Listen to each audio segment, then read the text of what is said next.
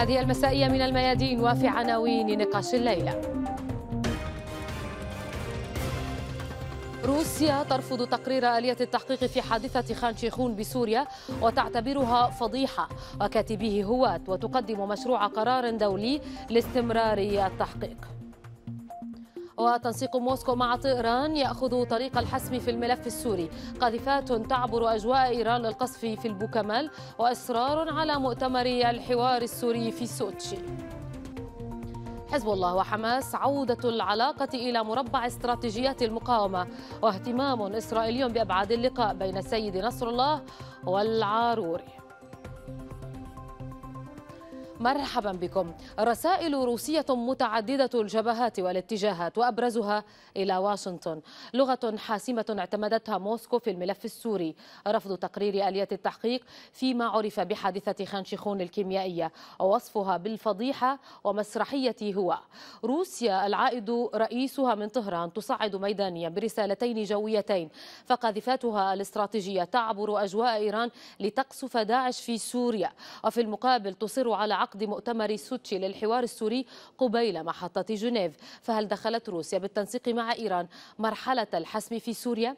وبالتوازي وعلى خط محور المقاومة تنشغل إسرائيل بمتابعة أبعاد ودلائل لقاء السيد حسن نصر الله ونائب رئيس المكتب السياسي لحماس صالح العاروري وما أثاره نشر صورة اللقاء من هواجس إسرائيلية.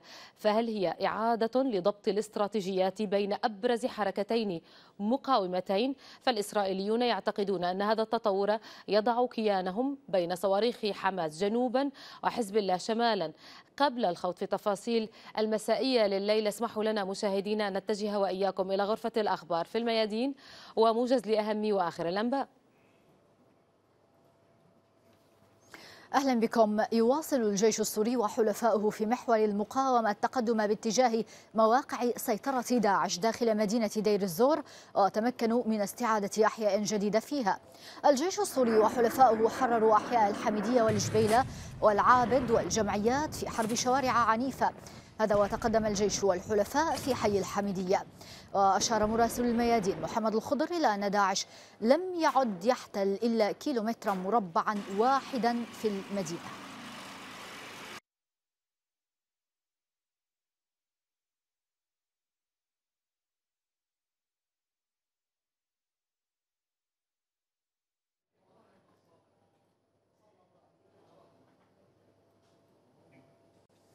تستعد قوات الحشد الشعبي والقوات الأمنية العراقية لدخول مركز قضاء القائم. قد أفاد مراسل الميادين عن اجتماع بين فصائل المقاومة على جانبي الحدود السورية العراقية بمشاركة الحرس الثوري الإيراني. مراسلنا قال إن الاجتماع ناقش تنسيق آليات تحرير القائم والإمساك بالحدود.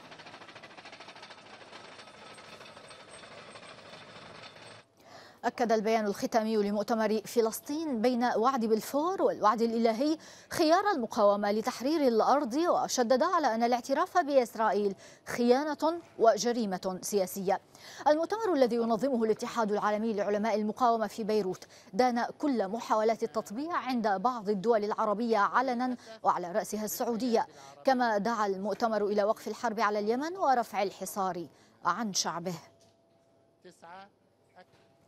أعلنت الحكومة الإسرائيلية أن إسرائيل لن تسمح لحماس بالبحث عن العالقين في النفق الذي دمره الجيش الإسرائيلي من دون التقدم في مسألة الأسرى والمفقودين.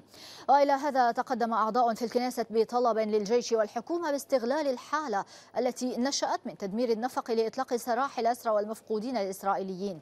علقوا أن حماس الآن في ضائقة ويمكن ممارسة الضغط عليها. سلمت فعاليات مغربية رسالة للقائمة بأعمال السفارة البريطانية عند الرباط لتنديد بوعد بلفور واحتفاء تيريزا ماي بالذكرى. بموازاة رسالة الفعاليات اليسارية والقومية والإسلامية وقف البرلمانيون الذين طردوا وزير الأمن الإسرائيلي السابق عمير بيرتس في بهو المجلس لتسجيل موقف الجماهير الشعبية من الوعد المشؤوم. أصدر القضاء الإسباني مذكرة دولية للقبض على رئيس إقليم كاتالونيا المقال كارلوس بوغديمون.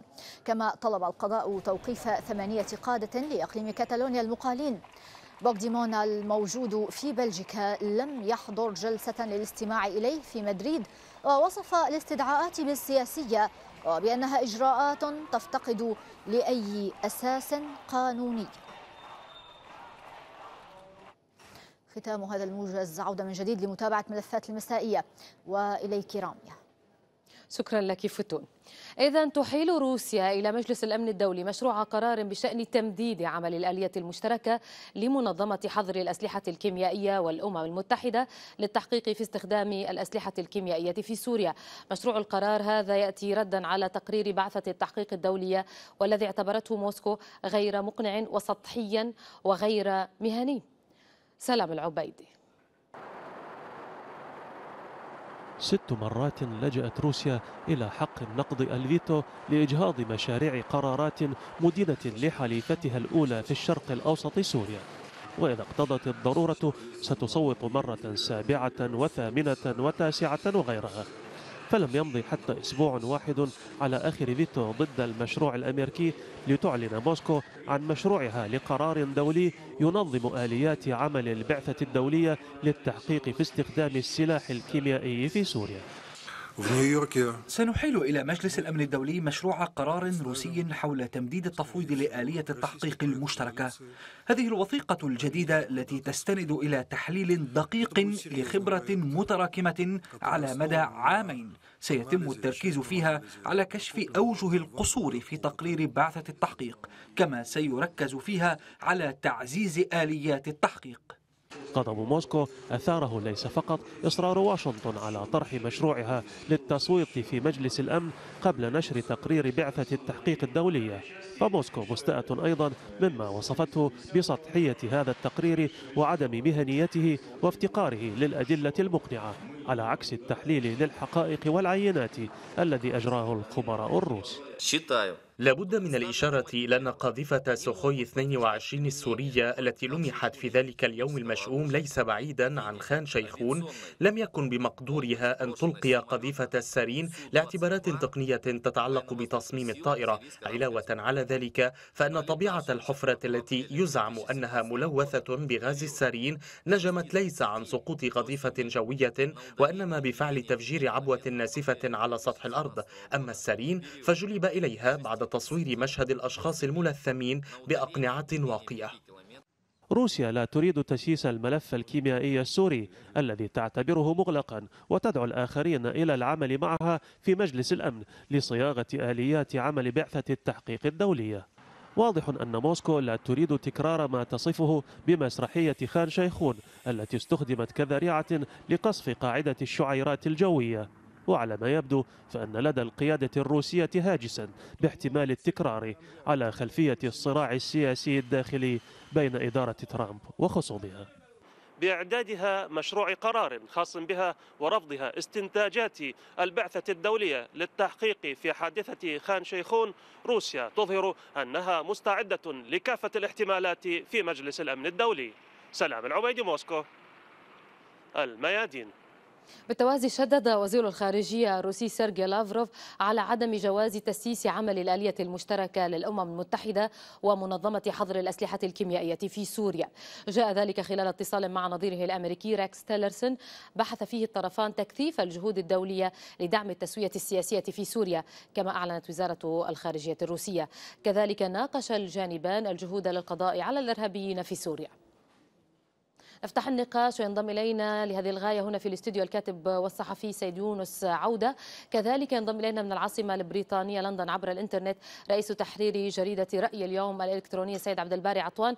مرحبا بكما البداية من الاستوديو لو سمح سيد عبد الباري. معك سيد عودة بالسؤال ليست المرة الأولى التي تتعامل روسيا مع الكيميائي ملف الكيميائي في سوريا. يبدو التعامل هذه المرة في شكل النص المكتوب وفي المضمون مختلف. نعم. لماذا برأيكم؟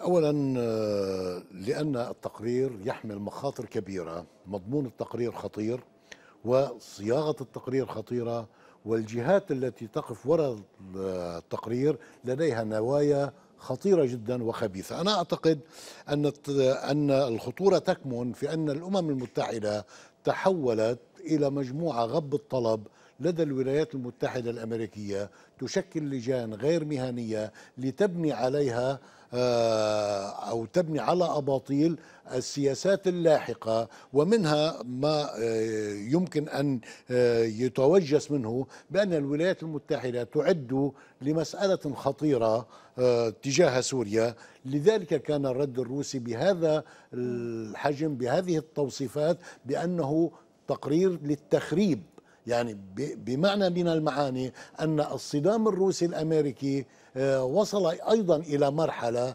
آه، لم تعد آه، موسكو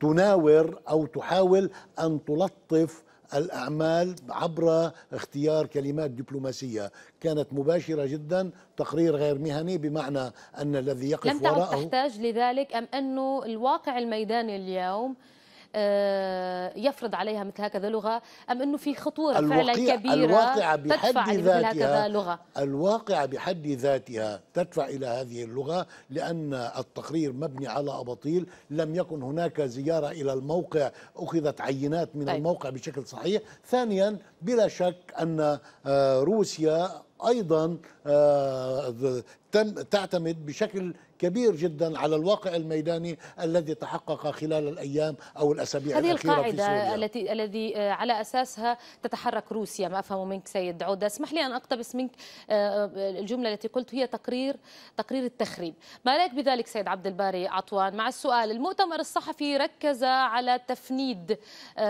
التقرير المقدم باتهام الجيش السوري باستخدام الكيميائي في حادثة خان شيخون المفترضة. فند الجانب التقني منه ووقف على أدلة وإثباتات. في الجانب السياسي ما الذي تحاول موسكو أن تدحضه؟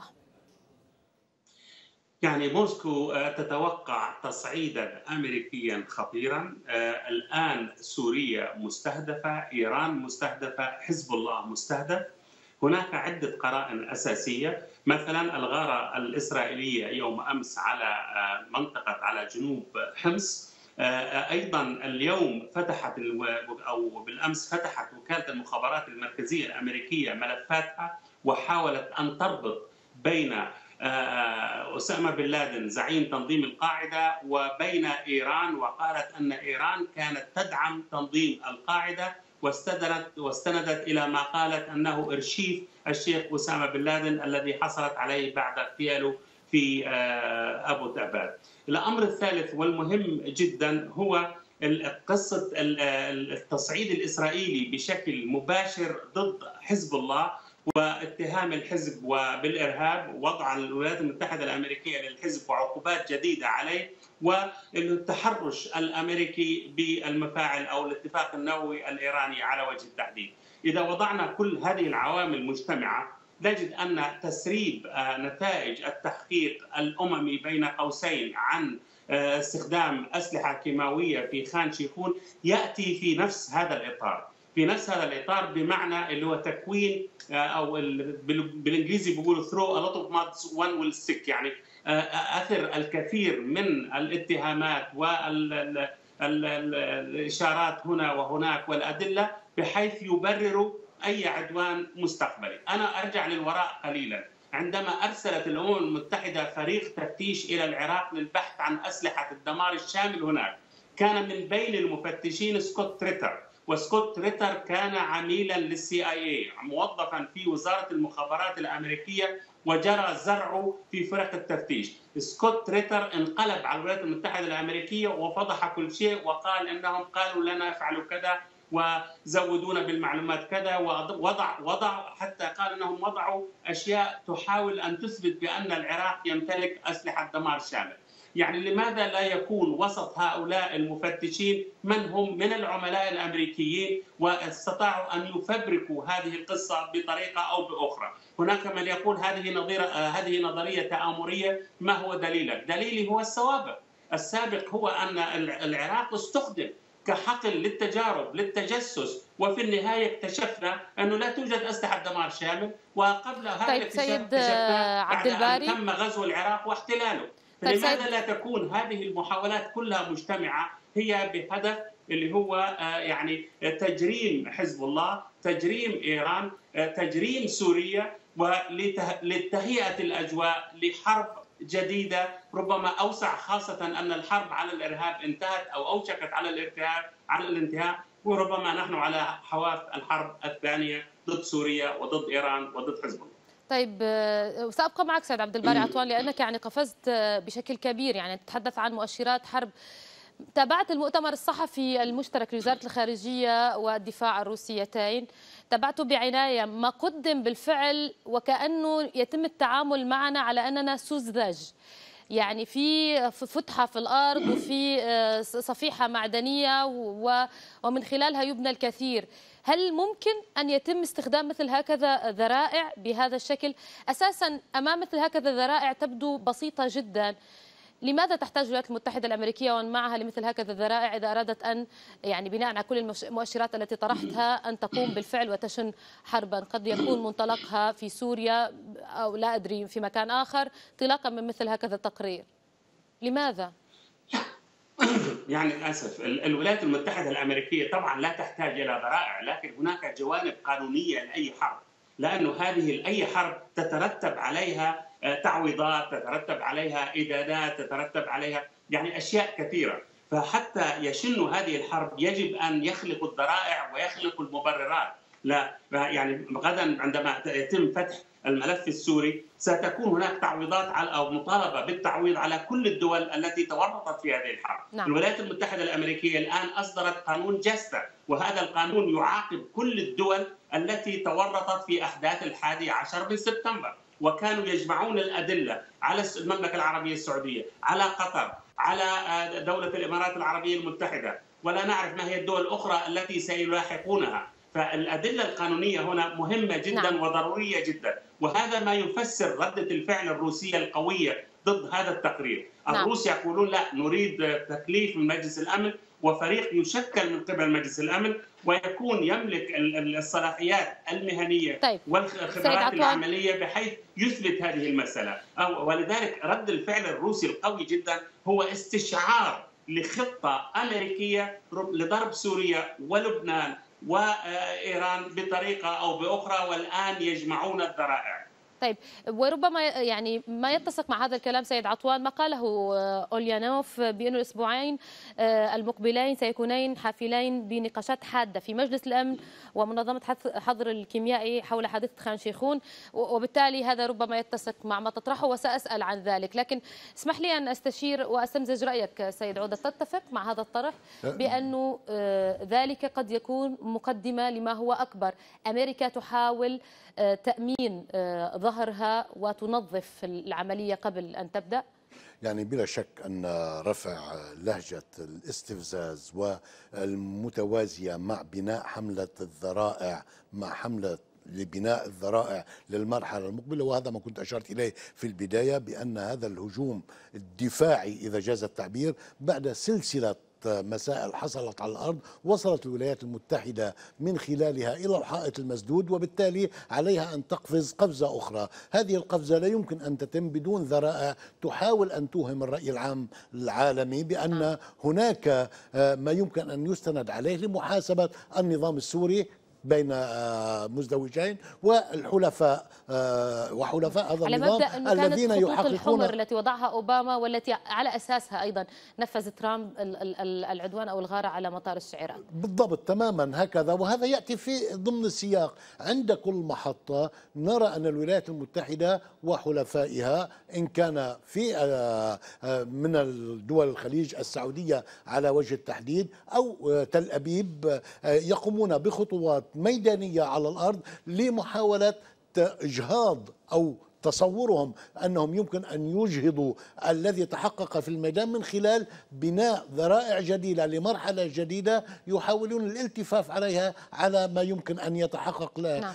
لاحقا وبالتالي هم يكونوا قد تحضروا إلى خطة أخرى آه، للمواجهة على ما يبدو أن هذه المرحلة روسيا لم تعد مكتفية بمحاولة الاحتواء والكلام مع تيليرسون اليوم من قبل لافروف بأنه يجب أن نكون يعني أن نكافح الإرهاب بشكل جدي وأن نكون مهنيين في التعاطي مع الأمور. هذا اتهام مباشر للولايات المتحدة نعم. لأن الكلام موجه لتيليرسون. أيضا كان هناك مسألتين مهمتين جرتا في الساعات الماضية وهو قيام الطائرات الاستراتيجية الروسية جيد. بتوجيه ضربات إلى معاقل أساسية لداعش في منطقة البوكمال التي تحاول الولايات المتحدة أن تسابق سوريا وحلفائها في الوصول إلى هذه النقطة مكان الاستهداف له فيه رسائل إلى الولايات المتحدة الأمريكية الأجواء التي سلكتها القاذفات الاستراتيجية نعم. الأجواء الإيرانية لتصيب نعم. الهدف أيضا. ذلك يحمل كثير من الرسائل. لا أدري إذا كنت تشير إلى هذه هي خطة المواجهة. نعم. سنتحدث عن ذلك ونشرك معنا السيد عبد الباري عطوان. ولكننا سفرد أيضا لهذا التقرير الذي يساعدها يساعدنا في النقاش. اذا مشاهدينا السلوك الروسي يؤشر إلى إصرار على عدم العودة إلى الوراء. فهل يهتز عرش جنيف؟ غراسيا بيطار. لا تشفير بعد اليوم في الرسائل الروسية. تخط موسكو خطابها السوري في الجو والميدان وفي مجلس الأمن والمؤتمرات الصحفية وفي كل مكان. طائراتها تواصل استهداف الإرهابيين من دير الزور إلى الحدود العراقية. أهمية هذا التحرك الجوي ليس في كونه يضرب الإرهابيين وحسب بل في عبوره الأجواء الإيرانية تحديدا. فهذه رسالة واضحة للأمريكيين والكرد تحديدا بأن هذه هي منطقة عملياتنا. رسالة توجهها موسكو بتنسيق واضح مع إيران وعلى أعلى مستوى. في الخطاب الروسي لاءات حازمة لا عودة إلى الوراء في المشهد السوري لا عبر شماعة الكيميائي ولا عبر استعادة نغمة تنحية الأسد ولا عبر أي محاولة لتغيير قواعد اللعبة. القرار الروسي يبدو حاسما في عدم السماح لأي لاعب بالمس بكل ما تحقق ميدانيا حتى أن اللاعب الروسي تخلى عن بعض الأدبيات التي تختبئ خلفها عادة بعض الدول كأن يتهم الأمريكيين بالكذب أو عندما يصف تقريرا امميا بأن من صاغه مجموعة هواه تمضي موسكو بسياسة طي الصفحات. ملف داعش يقفل ويفتح ملف الحوار الوطني السوري. ثمة من يقول إن النية الروسية تقضي بأن تكون سوتشي بديل جنيف. ولكن بصرف النظر عن النوايا الثابت أن الكرملين يمضي بسياسته قدما لا بل أنه يرسم حدود الدور التركي أيضا. فها هو ميخائيل بوغدانوف يعلق على رفض أنقرة مشاركة قوى كردية في المؤتمر الوطني بالقول إنه سوريا وليس تركيا.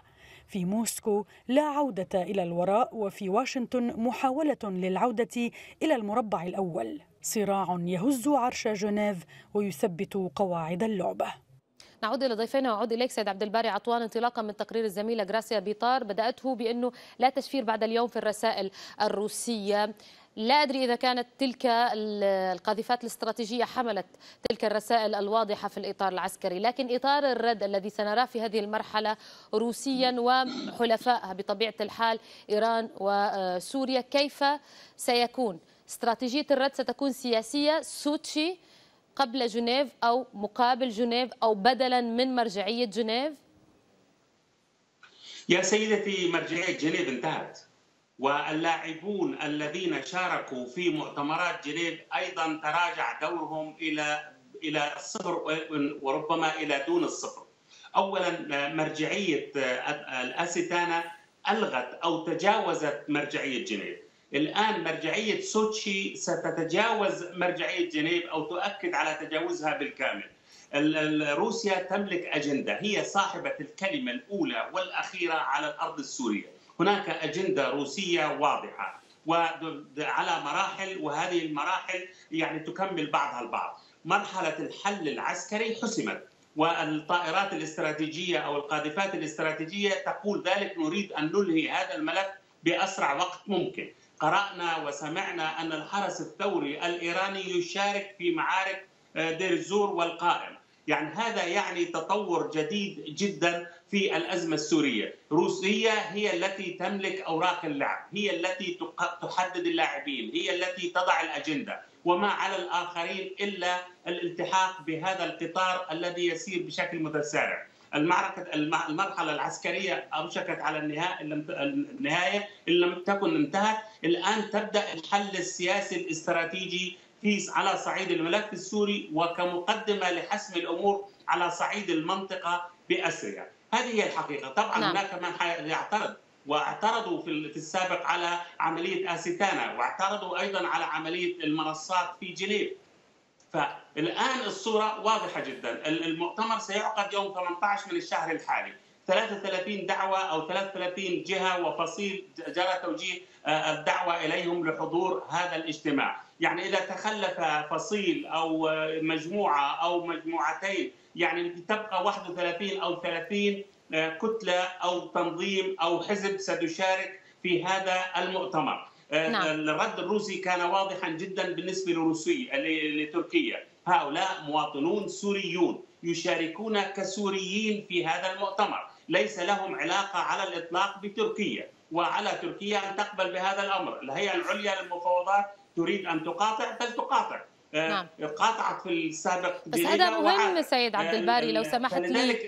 تسمح لي يعني وسامحني على المقاطعة. موضوع تركيا موضوع مهم يعني لا يمكن أن نقفز عليه بشكل آه، آه، سريع دون أن نقف عنده. يعني اليوم في محددات تستطيع موسكو أن تضعها خصوصا بالتعامل مع تركيا التي كان لاستكمال دورها في أستانا يعني من العوامل المهمة التي أفضت إلى نجاح أستنا ومناطق خفض التصعيد تسمح لي أنقل هذه النقطة سيد عودة. ما رأيك بها؟ هل يمكن بالفعل أن تستطيع موسكو أن تنظم مؤتمرا بهذا الشكل؟ وأيضا تضبط إنجاز التعبير. طبعا تركيا بما له علاقة بالكرد. بلا شك أن روسيا لديها برنامج آه، تسير عليه وأثبتت آه، السنتين السنتان الماضيتان أثبتتا آه، أن الروس يعملون بحرفية عالية وأيضا بصبر واسع لذلك هم عندما اجتذبوا الأتراك إليهم رغم ما يحمل الروسي من هم الطائرة التي أسقطت آه، ليست بس سامحني سيد نعم. عودة بس النقطة تركيا آه، يعني كان لها ما تريده وكان على الأرض في أستنا في من يعني روعية المصالح والرؤيه التركيه طبعا. وترجم ذلك في أستنا. لكن عند ما الذي ستاخذه تركيا فيما له علاقة بسوتشي ربما يكون واحد؟ آه على تركيا عن بعض الفصائل التي تديرها تركيا ممكن أن تكون مشاركة. ربما التركمان كمكون سوري يمكن أن يشاركوا مثلما سيشارك الأكراد آه، بغض النظر إذا آه، وافقت تركيا أو لم توافق اعترضت أو لم تعترض. وكذلك إذا اعترضت السعودية هذا لا يعني أن بعض الفصائل التي لا تزال تمولها السعودية أنها لن تكون حاضرة.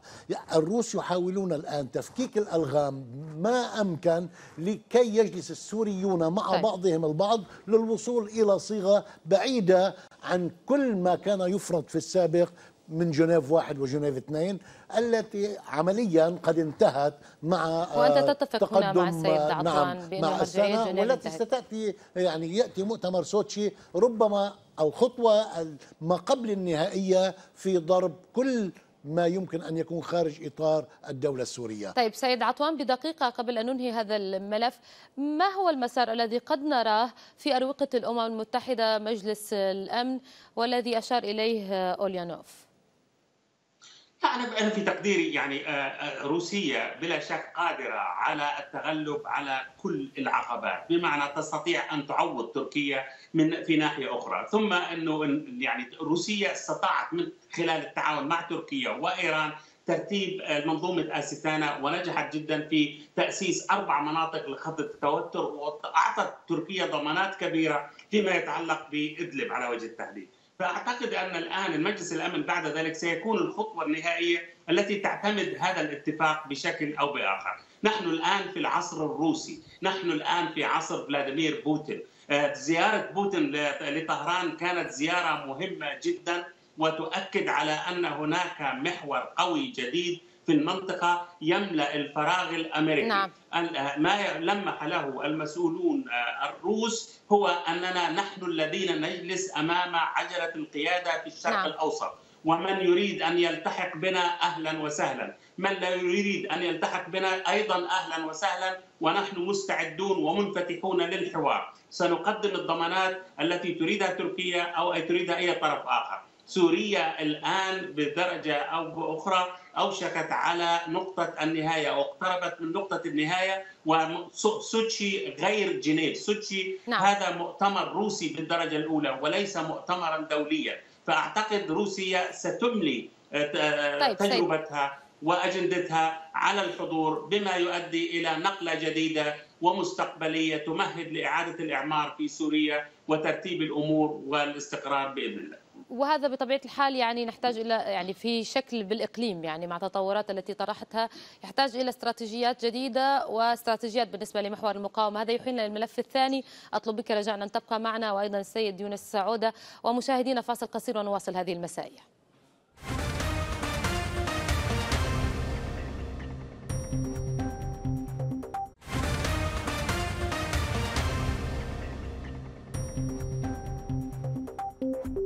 مرحبا بكم من جديد في المسائية من الميادين وفي ملفها الثاني. صورة اللقاء الذي جمع الأمين العام لحزب الله السيد حسن نصر الله بنائب رئيس المكتب السياسي لحركة حماس صالح العروري مؤشر على تنامي التقارب بين الحزب والحركة.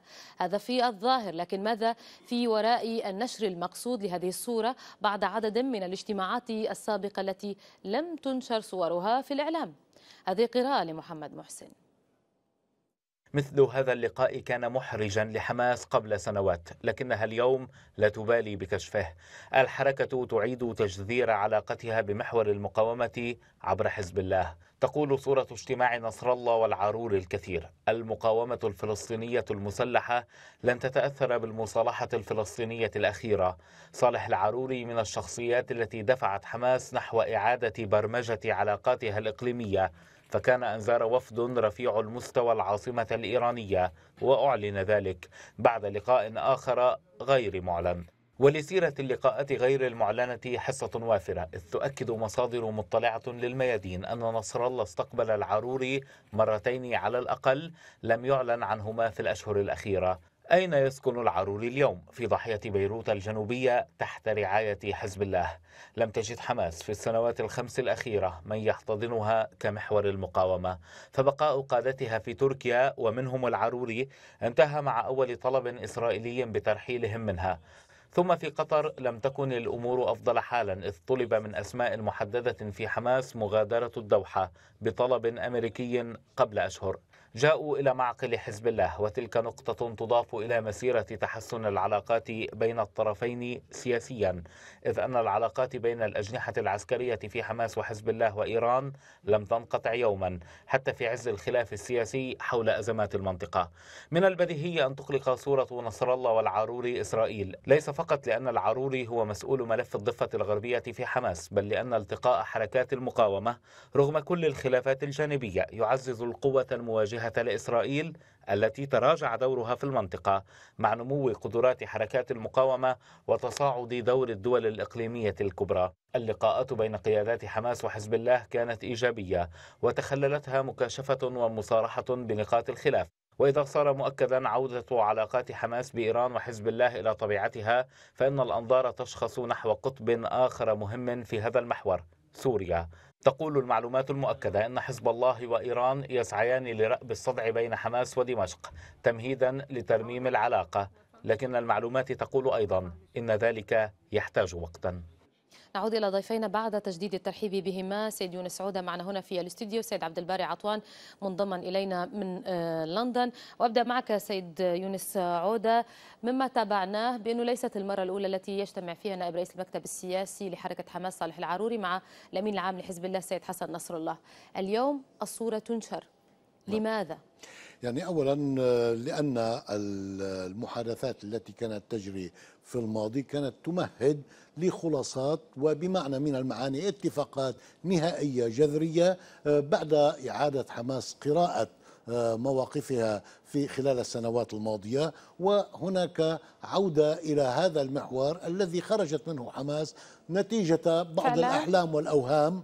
عودة للمحور ترى آه، ذلك آه، يعني عودة في إلى محور المقاومة الموضوع حمساويا بهذا الشكل أنه تح... أنه محور المقاومة حتى لا. الآن تصريح يعني هي لم تخرج نهائيا. أنا لم أقل خرجت نهائيا من محور المقاومة لكنها خرجت من بعض الأسس. إذا جاز التعبير خصوصا فيما يتعلق بالوضع في سوريا كان هناك عناصر من حماس يقاتلون إلى جانب الإرهابيين في كثير من المناطق.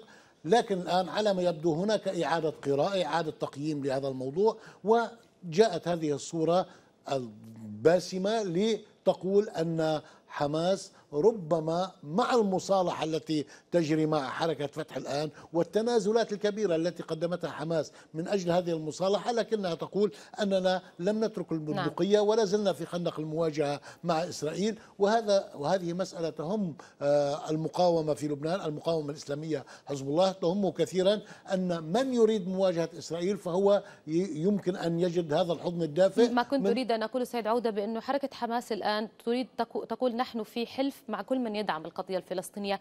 لا تريد أن تقول بأنها بمحاور مع الإشارة أنه اليوم في كان مؤتمر دولي لاتحاد علماء المقاومة شاركت في حركة حماس. كان في كلمة مهمة لإسماعيل هنية رئيس المكتب السياسي. هذا أيضا يرسل يرسل إشارات. وهنية أيضا كان جمعه اتصال هاتفي من حزب الله. سيد حسن نصر الله هاتفه معزيا بشهداء آه، تلك الغارة الإسرائيلية على النفق. كلها إشارات في التوقيت. اسمح لي أن أحيلها للسيد عبد الباري عطوان. ما رأيك سيد عبد الباري عطوان؟ ما الذي يعلنه هذا الاجتماع في نشر الصورة علنية إنجاز لنا التعبير؟ هي بالفعل خلاصات واتفاقات كما قال السيد عودة. لمن ترسل الرسائل؟ إسرائيل بالتأكيد يصلها رسائل. من أيضا تصله رسائل اللقاء بين العروري والسيد حسن نصر الله؟ يعني لا شك أن هذا اللقاء هو من أهم اللقاءات التي جرت بين حماس أو حركة حماس وبين آه، السيد حسن نصر الله زعيم المقاومة الإسلامية في لبنان. بمعنى في الماضي كان هناك بعض الخلافات. كانت في داخل حماس كان هناك جناحان. الجناح الخارجي الذي يتزعمه السيد آه، آه، خالد مشعل. خالد مشعل؟ أيوه. والجناح الداخلي بهالسرعة نسيته سيد عبد الباري عطوان. لا لا لا بالله هي مقصودة يمكن ما بعرف. ولا يهمك. لا لا لا. معلش سامحونا يا ستي أنا فكرتها مقصودة. آه سيد خالد آه. في الماضي كان هناك يعني حركة محور المقاومة كان يتواصل مع الجناح العسكري لحركة حماس. ومع السيد محمد ضيف. رغم أن الجناح الخارجي ابتعد عن محور المقاومة ابتعد عن سوريا ابتعد كثيرا في العمل السياسي واقترب من تركيا ومن دولة قطر. الآن آه، ما جرى على وجه التحديد هو أن عملية اندماج حصلت. هذه عملية الاندماج بين الجناح العسكري والقيادة الحمساوية الجديدة. إذا نظرنا إلى هذه القيادة الجديدة نجد أنها اولا يعني إما من الداخل وإما من مؤسسي الجناح العسكري وإما أيضا من الشخصيات القيادية التي اعتقلت وسجنت لسنوات في المعتقلات الإسرائيلية. معنى آخر يعني الآن لم تعد حماس تعيش هذا التناقض بين الداخل والخارج أو بين جناح عسكري وبين جناح سياسي. السيد صالح العاروري يمثل الجناح العسكري لحركة حماس في الضفة الغربية مثلما يمثل السيد آه، يحيى السنوار الجناح العسكري في داخل قطاع غزة على وجه التحديد. والآن هناك تكامل بين الجانبين. كان ملاحظا أن يعني إيران وحزب الله يركزان بالدرجة الأولى على هذا الجناح العسكري وعلى السيد صالح العاروري، كان أول لقاء السفارة الإيرانية مع نعم. السيد حسين عبد اللهيان والسيد العاروري ثم بعد ذلك ذهب العاروري على رأس وفد كبير لحركة حماس للتهنئة آه، اللي هي تنصيب إعادة تنصيب السيد حسن روحاني رئيسا للجمهورية الإيرانية بعد انتخابه مجددا. الآن هذا هذه هذا اللقاء يوصل يعني يوصل رسالة قوية جدا إلى إسرائيل إلى آه، آه، دول عربية تطبع مع إسرائيل هذه الرسالة تقول بأن حماس أصبحت جزءا أصيلا في محور المقاومة من حيث التطور الجديد في استراتيجيتها السياسية والعسكرية. يعني يريدون أن يقولوا ها هو السيد صالح العاروري الذي وقف خلف عملية خطف وقتل ثلاث مستوطنين إسرائيليين كرد على خطف وحرق الشاب محمد أبو خضير. ها هو الآن يعني ينسق مع حزب الله وينسق أيضا مع إيران وأنا لا أستبعد شخصيا أن تكون هناك زيارة قادمة له لدمشق واللقاء مع؟ القيادة السورية، أنا لا أستبعد كلام على الإطلاق لأن تحليلي دمشق تستند على معلومات؟ تحليلي نعم. الموضوع تحليلي بحث منك سيد عبد الباري أم أنه في مصادر أو معلومات تفضي لمثل هكذا نتيجه والله أنا في تقديري يعني سوريا كانت دائما مع محور المقاومة وسوريا هي الدولة الوحيدة التي احتضنت حركة حماس وفتحت لها طيب. مكاتب عندما تخلى عنها الجميع وابتعدوا عنها كليا. يعني فسوريا دائما قلبها كبير وسوريا الآن تتعافى بشكل مضطرب. وبلا شك أن لها عتب على حركة حماس وهذا العتب مشروع. لكن أعتقد أن عندما يتعلق الأمر بفلسطين أنا في تقديري سوريا ستتجاوز هذا العتب. وخاصة أن هناك قيادة حمسوية جديدة تؤمن بالمقاومة وتؤمن بالانضمام إلى محور المقاومة وترى في هذا المحور طيب. يعني سندا حقيقيا لها فأنا تقديري الشخصي وهذا معرفتي للأمور يعني أنا في تقديري إنه ربما نعم. يعني هذا العتب يزول وأنا لا أستغرب أن يكون السيد صالح العاروري قريبا وربما قريبا جدا في دمشق طيب. والأيام بيننا طيب أه ولا أدري وأنا سألتك ما الذي يعنيه أه مثل يعلنه هكذا لقاء إن كنا أمام توحيد جبهات يعني نهاية لمرحلة الجبهات المنفصلة للمقاومة والآن أمامنا جبهة موحدة للمقاومة في مواجهة ما يحكى عن إنه مواجهة أو حرب عسكرية لن تكون إسرائيل تقاتل ضلعا من محور المقاومة وإنما ستكون كما قيل حرب الشمال الأولى. ستبقى معنا سيد عبد الباري وأيضا سيد عودة. ولأنه يتحدث عن المخاوف الإسرائيلية حمل هذا الاجتماع اجتماع حزب الله وحماس في بيروت دلالات واضحة خاصة للإسرائيليين. أبرزها أن الحركة لا تنوي تفكيك جناحها العسكري وأسلحتها بل إن عملية المصالحة تهدف إلى تمكينها من تعزيز قوتها العسكرية أكثر. أهلا بكم. عاصفة من التحليلات انطلقت بعد انتشار هذه الصورة والتي تظهر اجتماع الأمين العام لحزب الله السيد حسن نصر الله بنائب المكتب السياسي لحركة حماس صالح العروري. توجس إسرائيل من اللقاء انعكس في إعلامها. الخبير في الشؤون العربية يوني بن حييم كتب تقريرا مفصلا عما سماه التنسيق العملاتي بين حزب الله وحماس. نقل عن مصادر أمنية رفيعة المستوى في إسرائيل أن العروري ينشئ فرعا لحماس في لبنان في قلب الضاحية الجنوبية لبيروت وينسق أنشطة الجناح العسكري لحركة حماس في قطاع غزة مع حزب الله إضافة إلى تنسيق أنشطة الحركة في مخيمات اللاجئين. المحلل الإسرائيلي يقرأ مخططا إيرانيا هو وضع إسرائيل بين مطرقة حزب الله في الشمال وسندان حماس في الجنوب مع عشرات الآلاف من الصواريخ الموجهة إليها. يقول لقد بنى حزب الله بالفعل قوته الصاروخية ضد إسرائيل بمساعدة إيران. والآن حان دور الجناح العسكري لحركة حماس. وقد حرص حزب الله على المحافظة على اتصال مباشر مع الجناح العسكري لحركة حماس وقائديها محمد ضيف ويحيى السنوار. وسائل الإعلام العبرية تابعت الاجتماع ووصفته بالاستثنائي والأول من نوعه بين قيادي من حماس ونصر الله منذ بدء الخلاف إبان الحرب في سوريا. بعيدا عن هذا التحليل من المؤكد أن العلاقة بين حزب الله وحركة حماس لم تنقطع يوما وقد سعى الحزب دائما إلى تعزيز هذه العلاقة في سياق محور المقاومة في مواجهة الاحتلال ومن خلال توجيه رسائل تحمل أبعادا إقليمية ودولية. نعود إلى ضيفنا نعود إليك سيد يونس. عودة بالسؤال. أن تقلق إسرائيل هذا يعني مفهوم نعم. متوقع.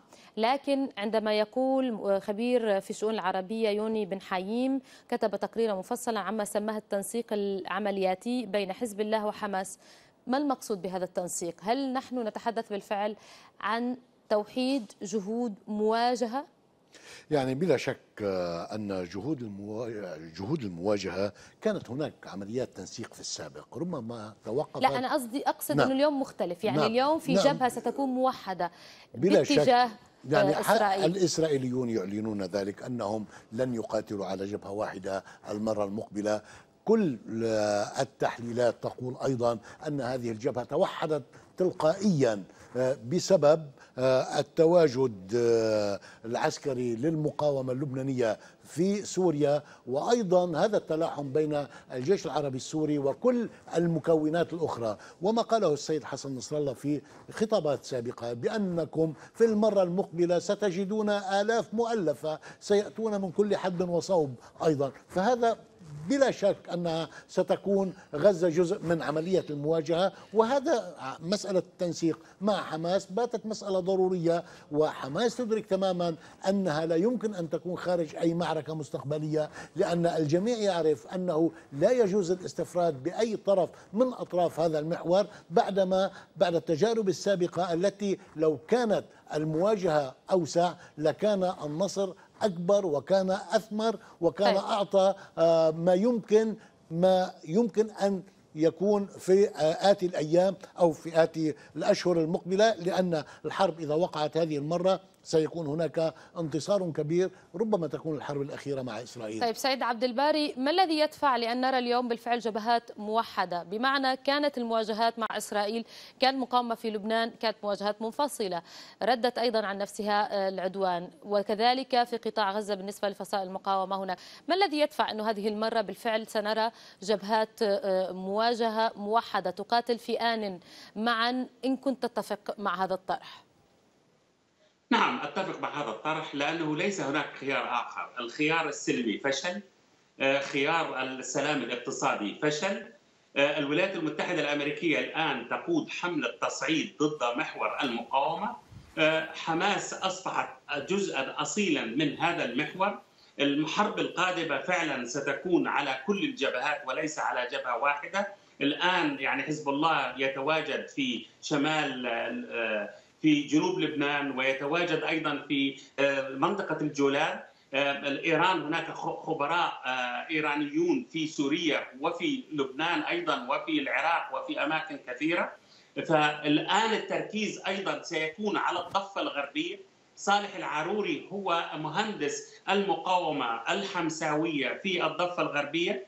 ويملك معلومات كبيرة جدا عن خلايا حماس وعن المتطوعين الذين يمكن أن يكونوا نواة لعودة حمساوية للضفة الغربية.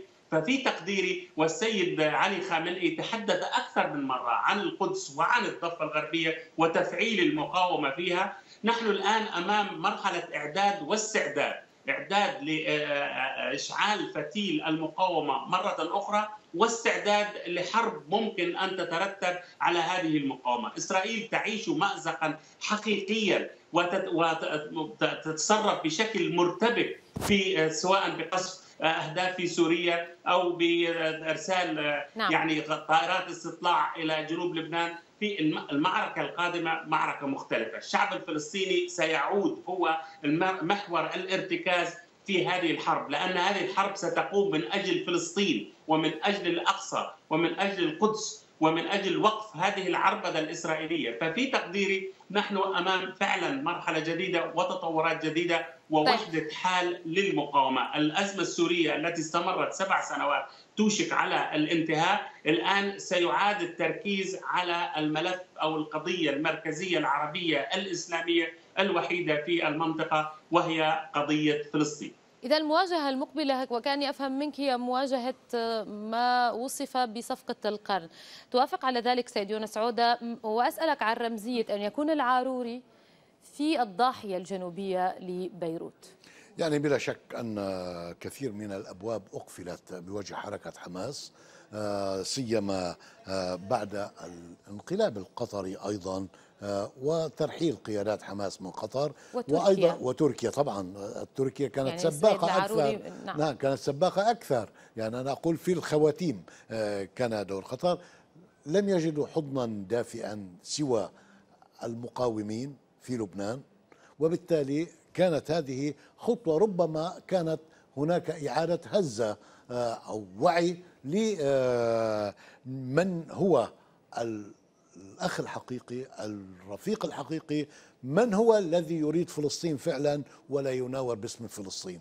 إذا كانت هذه هي الحقيقة فبالتالي لا يمكن إلا أن تكون ضاحية ضاحية المقاومة. هي الحضن الدافئ للذين آه، يمكن أن يكونوا جادين في تحرير فلسطين في المواجهة مع الكيان الإسرائيلي وبالتالي مع أسياد هذا الكيان وأقصد الولايات المتحدة الأمريكية والسياسات الأمريكية ومن يدور في فلكها. إذا كان ذلك فلا بد أن تكون المرحلة المقبلة مرحلة مواجهة شاملة. تكون ليست فقط حماس من الشارع الفلسطيني جزءا منها بل كل الشارع الفلسطيني بكل تكويناته. وربما هناك آه، وحماس تدرك تماما أنها لو خرجت من هذا الطريق فهناك كثيرون سيحتلون هذا المكان وسيملؤون هذا المكان لأن فلسطين لا يمكن أن تحرر بخطابات بل بالمقاومة وبالسلاح. سيد عبد الباري أسألك عن هذه الرمزية أيضا إذا كان لديك ما تضيفه حول رمزية العاروري في الضاحية الجنوبية لبيروت.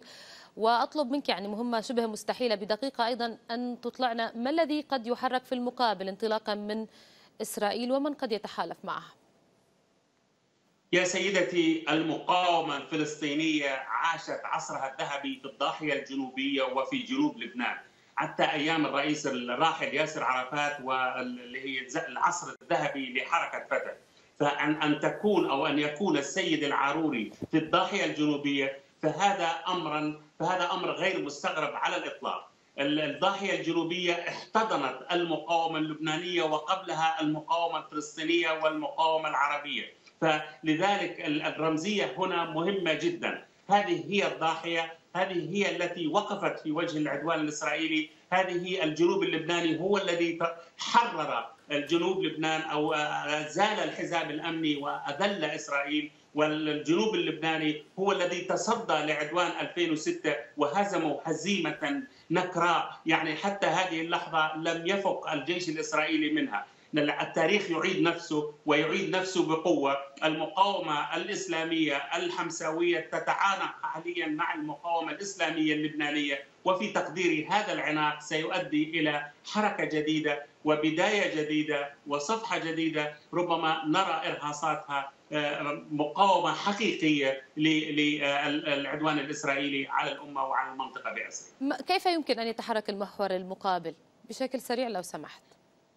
يا سيدتي المحور المقابل فليتحرك. يعني ماذا لديه أن يفعل؟ هل يعني إذا حزب الله كان عنده 10000 صاروخ مثلا عام 2006 الآن عنده 150 ألف صاروخ وقذيفة كان عنده 10000 مقاتل الآن حزب الله عنده من 25 إلى 30 ألف مقاتل. هناك إيران هناك سوريا هناك الجيش اللبناني البطل. هذا الجيش اللبناني الآن يقف في خندق المقاومة. نعم. لم يكن في خندق المقاومة في أي من الحروب السابقة الآن في ظل رئاسة العماد ميشيل عون هذا الجيش وقيادته حتى يعني ما ننسى قيادة شريفة تقف مع المقاومة فإذا أرادت إسرائيل أن تهاجم لبنان أو يعني لن يكون هذا الهجوم سهلا وسيد نصر الله قال يعني سيكون اليهود وقود لهذه الحرب القادمة وعليهم أن يهربوا نعم. من الآن لأن ربما لن يجدوا الوقت أنا يعني في تقديري إيه؟ الأمور تتجه نحو التصعيد. وشخصيا أنا أقول إذا أخطأت إسرائيل وأشعلت فتيل الحرب يعني ستكون الخاسر الأكبر فيها. يعني هو الجسر بين ايمين لحود وميشيل عون كرؤية لدعم المقاومة انقطع قليلا ووصل حتى يعني نعطي للتاريخ حقه وللشخصيات أيضا التي دعمت المقاومة في لبنان آه، كالرئيس ايمين لحود أيضا حقها أشكرك جزيل نعم. الشكر سيد عبد الباري عطوان رئيس نعم. تحرير جريدة رأي اليوم الإلكترونية كنت معنا عبر الإنترنت من لندن موصول الشكر لك سيد يونس عوده الكاتب الصحفي ضيفنا هنا في الاستديو على كل ما قدمته شكرا. لنا في مسائية الليلة يونس عودة أنا ربما لفظت الاسم بشكل خطأ آه وبختام المسائية نذكركم بعناوينها روسيا ترفض تقرير آلية التحقيق في حادثة خان شيخون بسوريا وتعتبرها فضيحة وكاتبيه هواة وتقدم مشروع قرار دولي لاستمرار التحقيق. وتنسيق موسكو مع طهران يأخذ طريق الحسم في الملف السوري. قاذفات تعبر أجواء إيران للقصف في البوكمال وأسرار على مؤتمر الحوار السوري في سوتشي. حزب الله وحماس عودة العلاقة إلى مربع استراتيجيات المقاومة واهتمام إسرائيلي بأبعاد اللقاء بين السيد نصر الله والعاروري. دائما للمزيد من الأخبار والتقارير إضافة إلى مواكبة البث الحي للميادين تفضلوا بزيارة موقع الميادين على الإنترنت الميادين دوت نت إضافة إلى موقعنا باللغة الإسبانية وصفحات الميادين على مواقع التواصل الاجتماعي. والمزيد من الأخبار دائما على رأس الساعة. إلى اللقاء.